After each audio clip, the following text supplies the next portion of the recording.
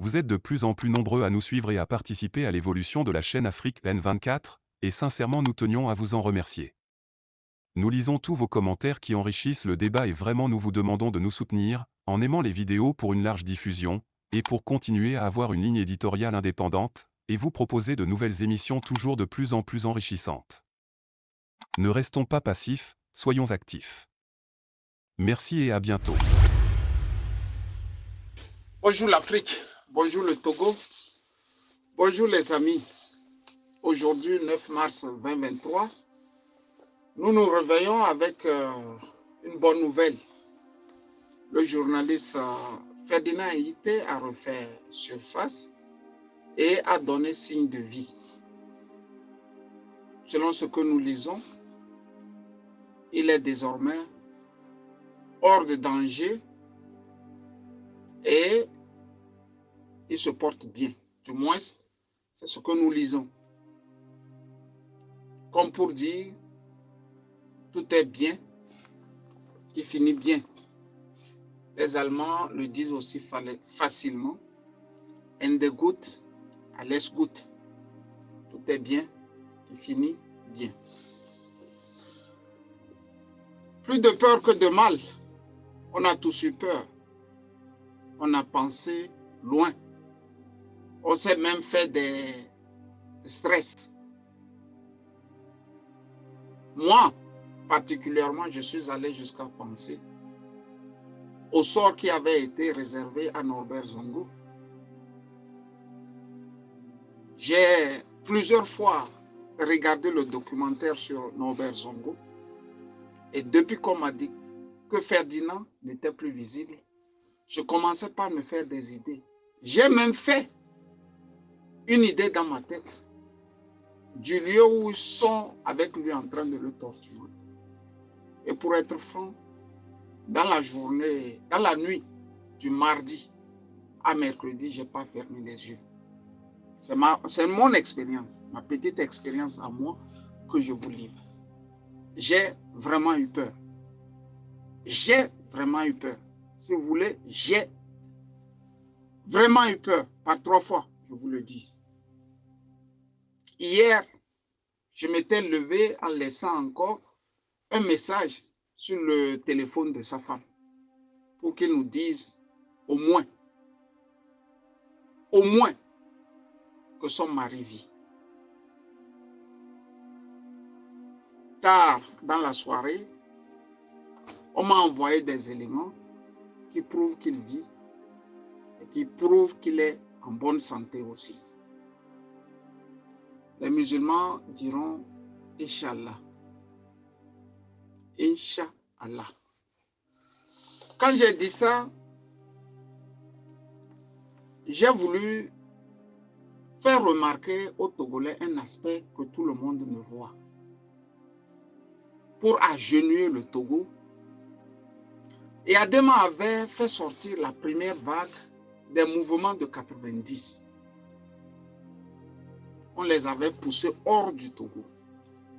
Les Aïeva Bassirou, les Eloi Koussavou, les Joseph Takeli, les Nayon Denis, les Jean Kissi, ils sont nombreux comme ça. Nos aînés que Adema avait poussés hors du Togo. Quand ces derniers sont partis, si vous remarquez très bien, il n'y a plus une génération assez consciente et décidée comme la génération de 90 qui avait bousculé le tyran.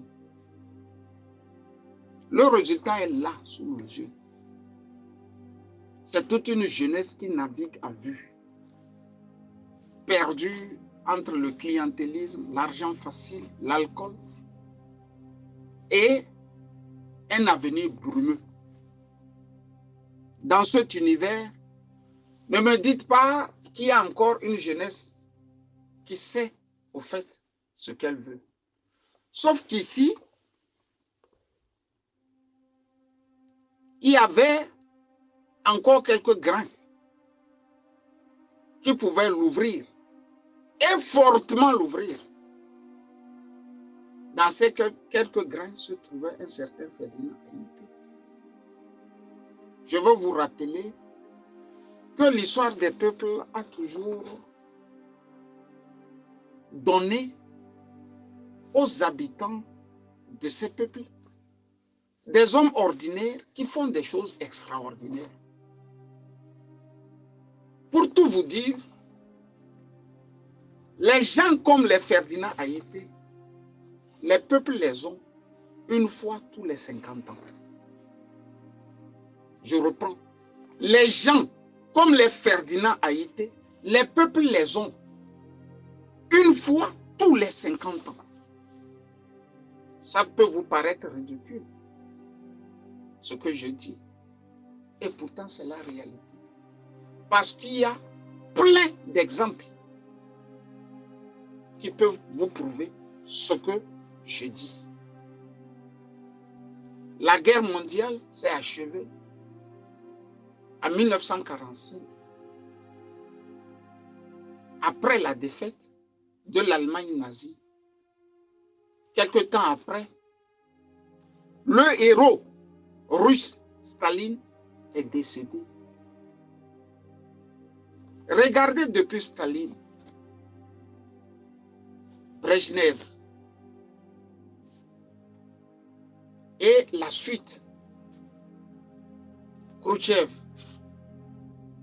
pour descendre sur euh, les Boris Eltsine. Et avant Boris Eltsine, les Gorbatchev. Vous voyez qu'un Gorbatchev, bien qu'il soit intellectuel, on peut le comparer au IBK.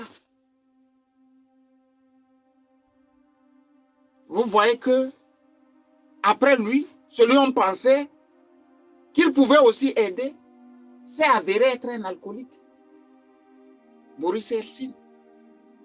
Donc, depuis 1945 jusqu'à 2000, la Russie n'a fait que connaître des stress, des problèmes, des reculades. Vous voyez très bien que c'est tout au plus 50 ans, qu'après 50 ans, qu'on revoit quelqu'un comme Vladimir Poutine pour relever le pays. C'est de ça il s'agit. C'est de ça il s'agit.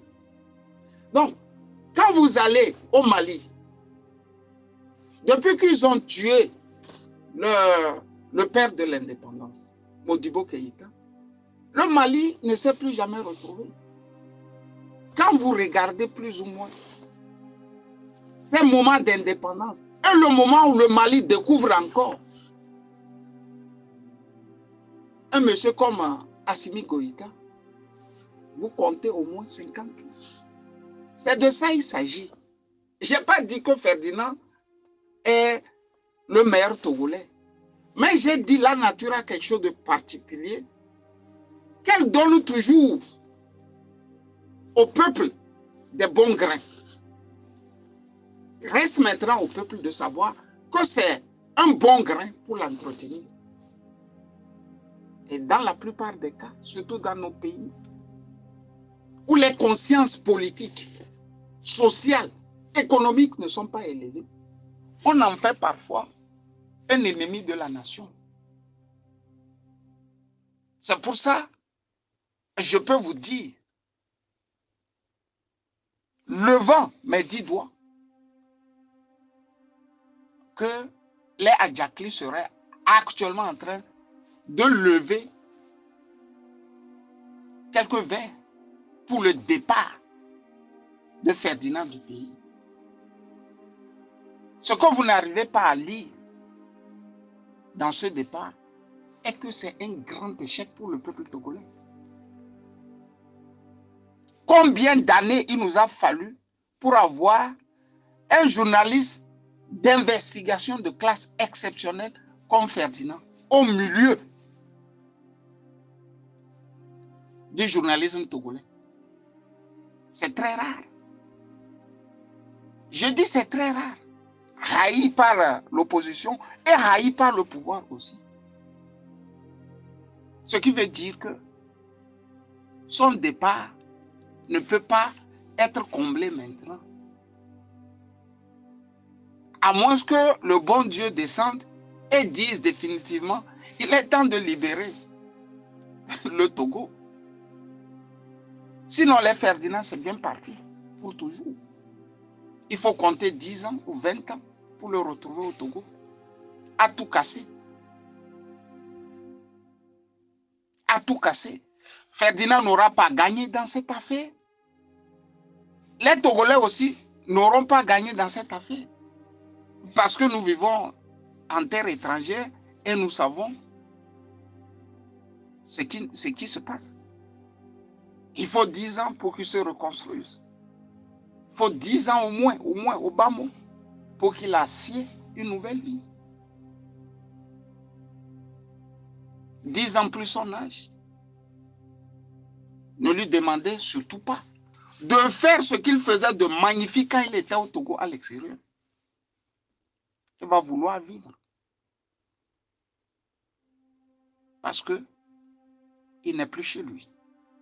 Et moi, je me rappelle très bien de Daoku Peri, qui me rappelait Camus, vous n'allez pas tous rester chez les Blancs comme ça. Ne prenez pas, vous tous, les nationalités de ces Blancs. Parce que votre, votre place est ici. Et si vous ne revenez pas, le Togo sera parsemé de médiocres. Et quand un pays se bâtit sur la médiocrité, il est très difficile de le relever. J'ai ces mots que je vous laisse de l'ex-président de l'Assemblée, Dao Kouperi, qui me l'avait dit. Quand il me le lançait, moi je pensais que bon, d'ici là, on serait tous au Togo en train de jouir des fruits de la démocratie.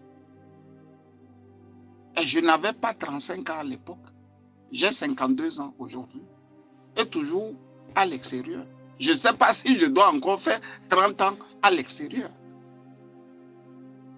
Le départ, la sortie de Ferdinand est une aubaine pour tout le Togo. C'est très grave.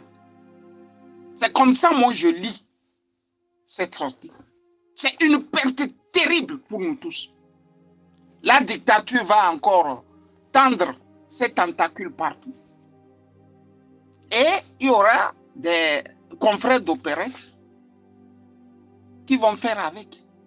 D'autant plus que j'ai vu des éléments hier écrits que Ferdinand est un fuyard. On l'a convoqué au SCRIC. Au lieu de répondre, il a fui. Vous voyez l'ingratitude des peuples.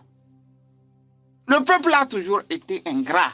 Et je veux rappeler à toutes et à tous ici que ce travail que nous faisons, c'est un travail personnel. C'est ta fierté personnelle qui t'amène à le faire. On n'attend rien du peuple.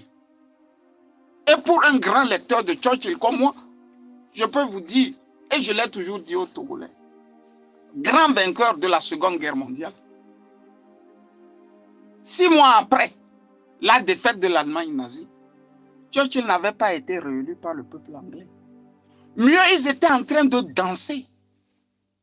Quand le pauvre était dans sa chambre fièvre, à côté de lui, bien sûr, son perroquet. Son perroquet.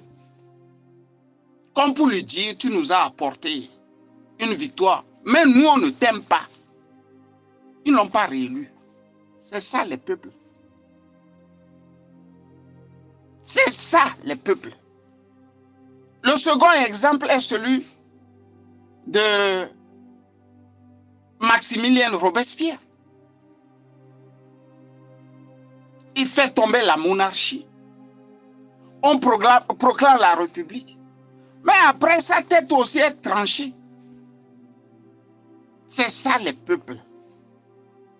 Au lieu de Maximilien Robespierre, on l'appelait Maximum Robespierre.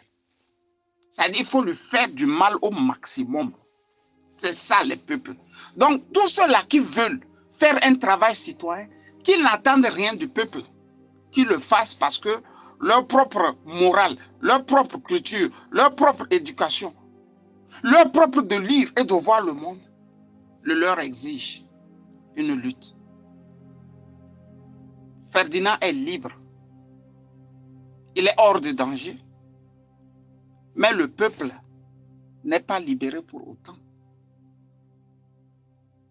Quand j'ai dit ça, j'ai voulu dire à l'heureux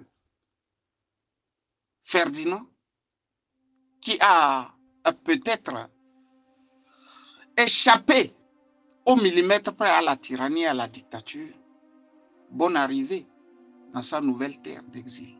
Je ne suis pas proche de lui, je ne le connais pas assez pour parler, mais quand j'ai appris